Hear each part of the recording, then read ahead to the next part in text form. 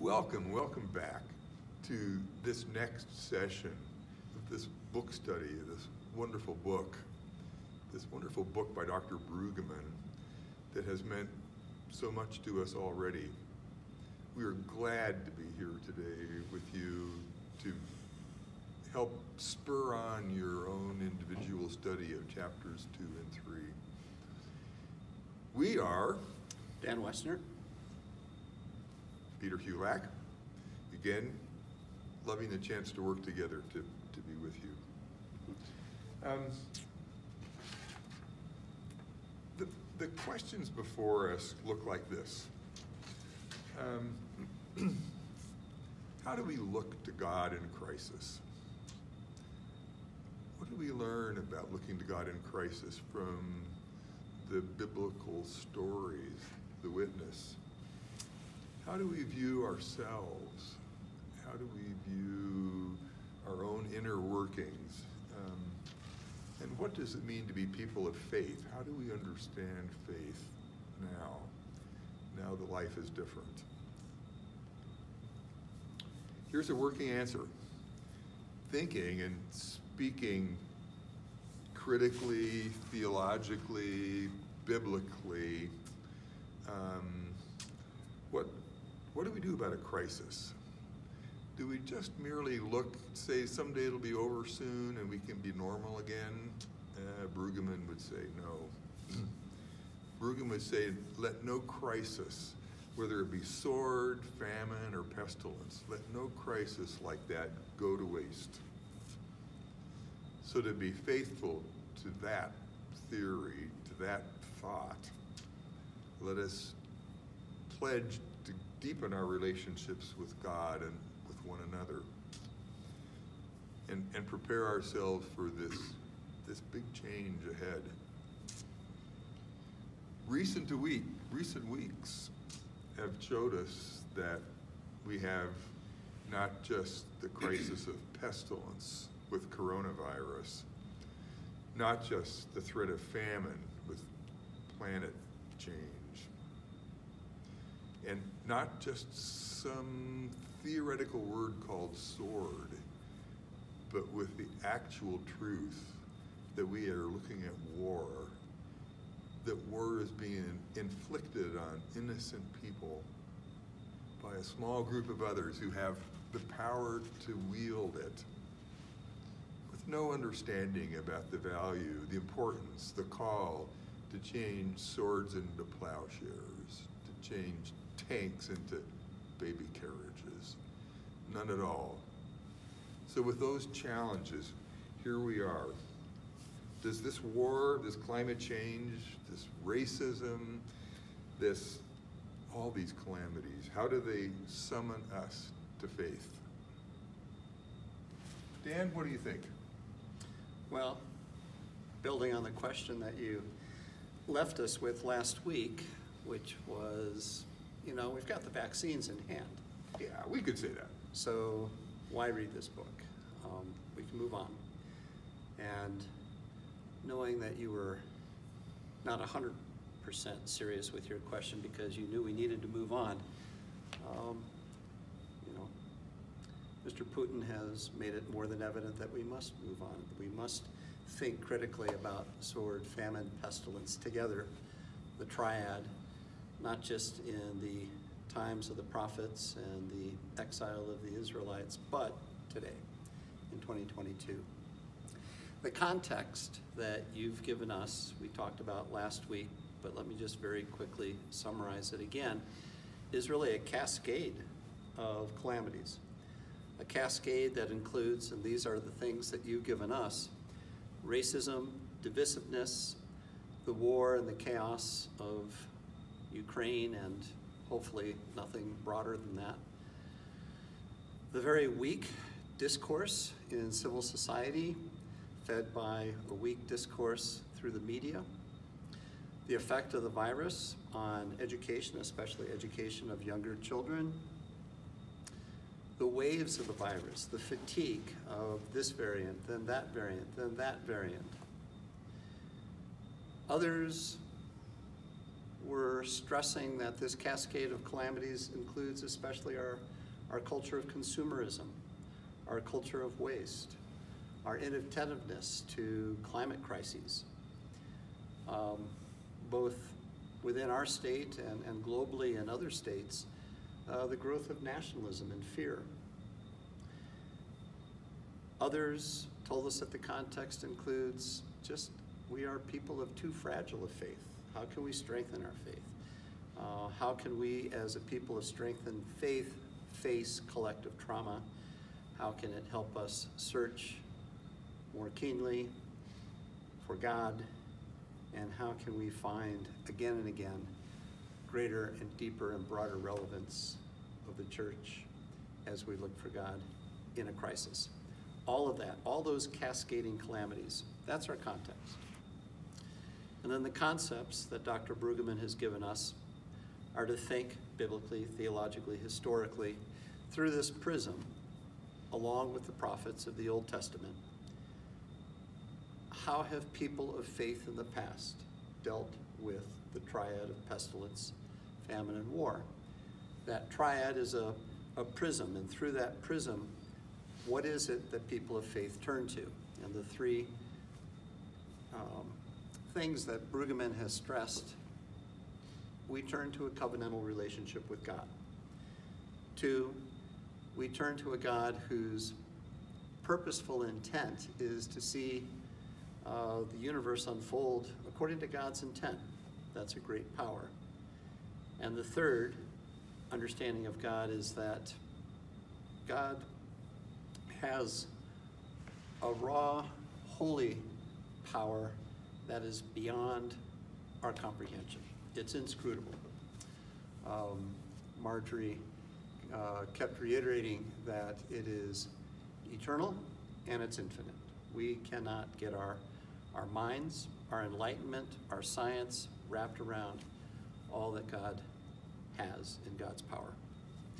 And then finally, the other thing that we've been working through in adult faith formation was the three-part series on black theology. So also part of our prism, we can think of um, what Malcolm said, uh, the theology of Martin Luther King Jr. or the theology of Malcolm X. And what Marjorie added, beyond those two men and beyond all the, the white male theologians, what about womanist theology? What about black African American womanist theology?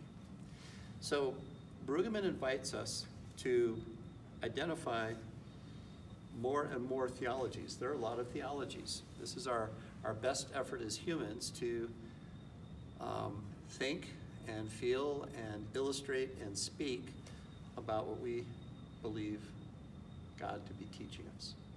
So in chapter two, let's build on those uh, that context that you've given us, the concepts that Brueggemann has given us, and let's see what he teaches us in chapter two.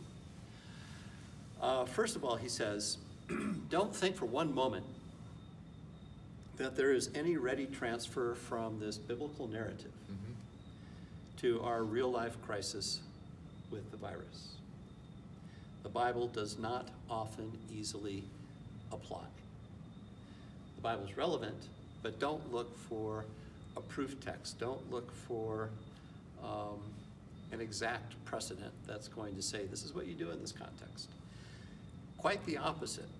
Uh, by the end of chapter two, where Brueggemann takes us, this is through the story of King David as told in 2 Samuel, he takes us to a point where you need to be exercising open imagination based on that prism of how people have faced calamities before through the covenant, through God's purposeful intent, through God's raw holy power, through black theology, through womanist theology, through other theologies that you're going to identify, use all of that lens to strengthen an open imagination as to where God might be leading people of faith right now. So, to the story of David. Uh, and you've looked at this probably uh, in reading chapter 2 before uh, viewing this video. Um, but what has David done wrong? This is retold in 2 Samuel chapter 24, what has he done wrong? Uh, what is the great sin that King David has committed? And it's this. Um, as a king of a minor state surrounded by big, powerful states, can think of analogies to the present day, but don't think of exact proof texts from then to now. But King David of this small state has done exactly what big states do. He's conducted a census. He's counted everybody. He's increased his tax roll. So people who are already stressed, already paying more than they feel they probably should pay to the state, are now in a census and on the rolls to pay more. And the other thing that he's done as a statesman is conscript people into a military. These are what states do. So his sin is he's relied on the strength of statism. He's relied on being a state, just like the Assyrians and the Babylonians and the Egyptians. He's relied on these political institutions rather than depending upon rather than depending upon the covenant or having an open imagination to what God's purpose might be, or having an open imagination to the infinite and to the uh, extraordinary, inscrutable, holy raw power of God. So, David, being a man of faith, as well as a statesman, realizes that he has offended the covenant. And God, in a very interpersonal exchange with David, uh, basically tells him to pick his poison. Is it going to be war? Is it going to be famine? Is it going to be pestilence? And, you know, this might be precisely historical. This might also be literary because again and again in the Old Testament, that triad of those three things just keep recurring. The same language, uh, the same one, two, three, one, two, three. And in this dialogue between God and David, here's the triad. Why does David pick pestilence as his poison? And not just his, but for the Israelites, over war and famine. He reasons that, well, if I pick war, then I'm putting my people and myself into the unknown human calamity of a warring state against Israel. If I pick famine, I'm placing my people and myself in the unknown effect of nature and human misjudgment in working with nature and farming systems and providing food. I'm going to pick pestilence because God visiting frogs or locusts or any kind of pestilence upon people, that's in God's province. That's God's power. And I think David is thinking, I think I understand God best of all of my choices. And what I really understand about God, and this is the important point, what I really understand about God is the covenantal relationship. And in that covenantal relationship, if people of faith repent, if I repent, if people have trust in the covenantal relationship with God, as I have that trust, then God will show mercy, God will show love, God will help us understand again the moral coherence of life, of the world, of the universe. And that's what Brueggemann means by open imagination. David has opened his imagination by thinking through that prism and understanding in a deeper way for himself and for all of his people uh, the importance of that covenantal relationship that open imagination allows Israel as a people to be something extraordinary, not an ordinary state, not an ordinary society, but something extraordinary. Not victims wallowing in victimhood, not people always in lamentation, not clamoring for normalcy. What was it like before the pestilence, before the virus, before whatever? But an open imagination to something transformative. That leads us then into chapter 3.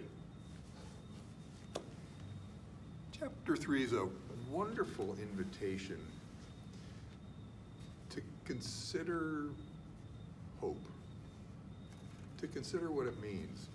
Um, what can, can we hope that we'll be able to sing and dance again? And um, our choir has spent a year hoping for an opportunity to sing again.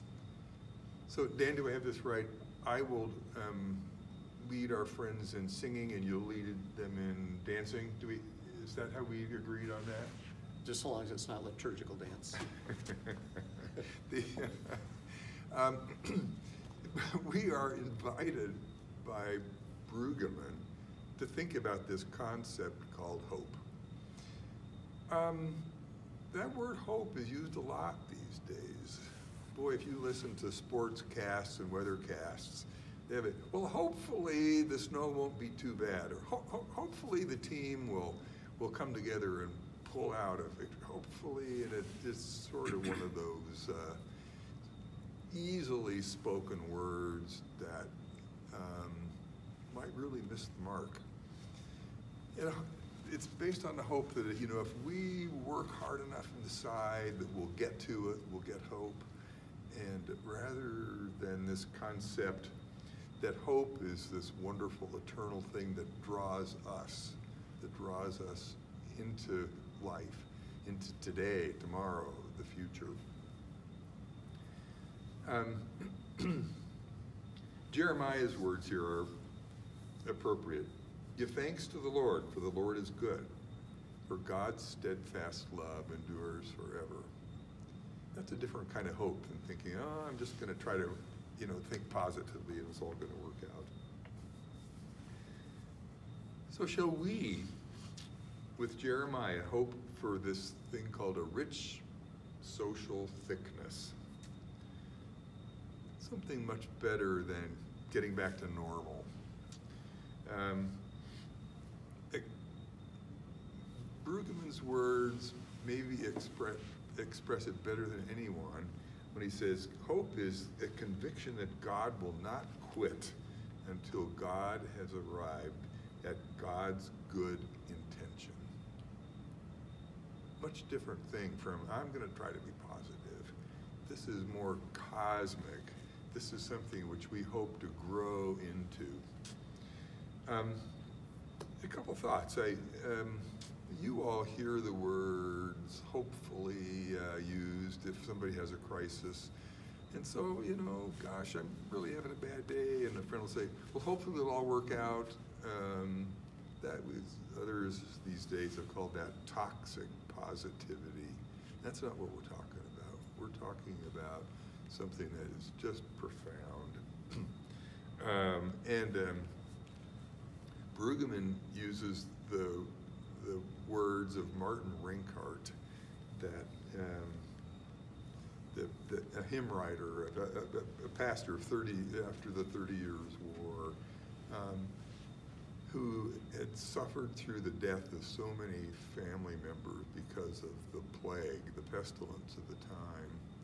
And Rinkart wrote the words that we sing regularly.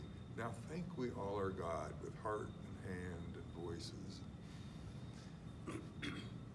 Rinkart's hope, Jeremiah's hope, Brueggemann's hope, our hope, is not that we'll come up with something that will neutralize the pain, but something that is rooted in it. So Rinkart wrote, Now thank we all God,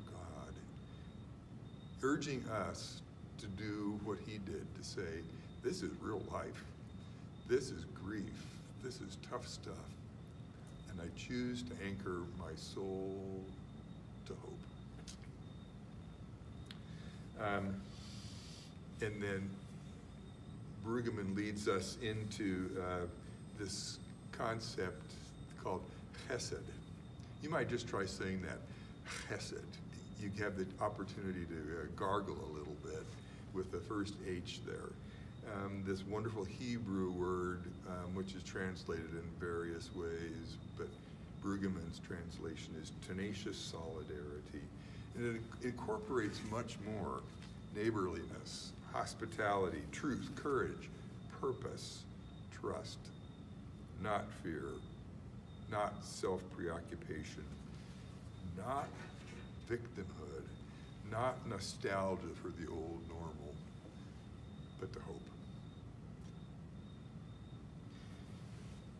So, in closing, under, understand Brueggemann and Pete and Dan here, um, and, and Pastor Rinkart from the 17th century. We're not giving thanks for the calamity.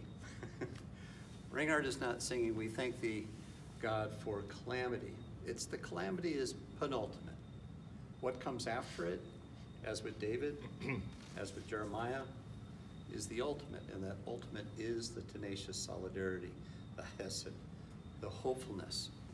And, and that's why we can be thankful even in the midst of cascading calamities. Um, we're recording this for you as part of our flipped classroom approach to the Lenten series, hoping that you'll, you'll view this and look at the PowerPoint and read the chapter, and most especially come to the Wednesday evening session with your questions, with your insights, with your experience, with reflection and synthesis of all of this that's going on. Uh, you know, today is uh, February 27th. Uh, we don't talk about chapters two and three until the second session of the Lenten series. So that's going to be a Wednesday evening, March 9th. No, March 16th. Okay. A lot is going to happen between February 27th and March 16th. Uh, and this is where the flipped classroom calls upon you to be applying this and using the prism and thinking and praying and studying hard. Bring all of that to the 90 minutes that we shared together on the evening of March 16th. Um, that discussion is, that, that session is not for Pete and Dan teaching. It's for us to discuss, for us to experience, for us to listen hard, and for us to discern. So in closing, here are some questions. How is the virus a summons to faith and change? In fact, what sort of faith and change? And with whom? And why? And how? Where and how might we engage this remarkable Hesed type of faith and change? So we look forward to seeing you on the 16th.